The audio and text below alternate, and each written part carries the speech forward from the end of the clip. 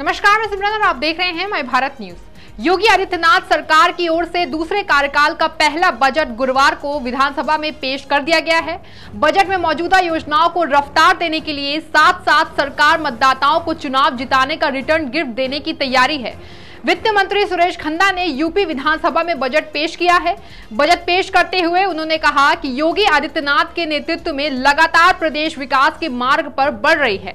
हमने माफियाओं पर कार्रवाई की, प्रदेश में विधि व्यवस्था का माहौल बनाया। प्रदेश में कानून व्यवस्था का राज स्थापित होने से बड़े पैमाने पर निवेश हो रहे हैं। उन्होंने कहा कि प्रदेश में दो लाख किसानों को किसान निधि की राशि का लाभ दिया गया है। खन्ना ने कहा कि यूपी की जनता ने हमें दोबारा मौका दिया है।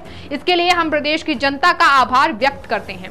यूपी में जल्द ही पाँच इंटरनेशनल एयरपोर्ट बनकर तैयार हो जाएँगे। देश का ये पहला राज्य होगा।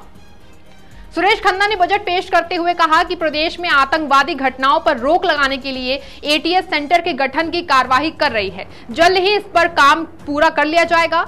विधि व्यवस्था का ज़िक्र करते हुए वित्त मंत्री ने कहा कि प्रदेश में कानून का राज्य स्थापित किया गया है। आम लोगों के लिए शासन प्रशासन के बीच सुलभ कराया गया है। सीएम योगी आदित्यनाथ के नेतृत्व की सराहना करते हुए सुरेश खन्ना ने कहा कि हमने माफियाओं पर कार्रवाई की, इसमें सीएम के नेतृत्व की सराहना हुई।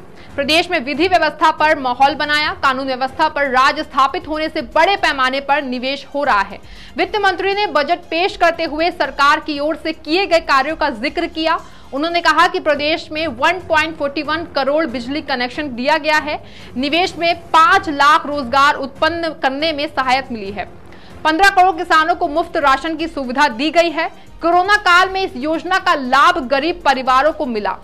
विकास योजना का ज़िक्र करते हुए उन्होंने कहा कि यूपी में फ़िल्म सिटी के निर्माण की योजना पर काम किया जा रहा है। गन्ना किसानों की रिकॉर्ड भुगतान किया गया है। फ़िलहाल के लिए इतना ही। देखते रहे माई भारत न्यूज़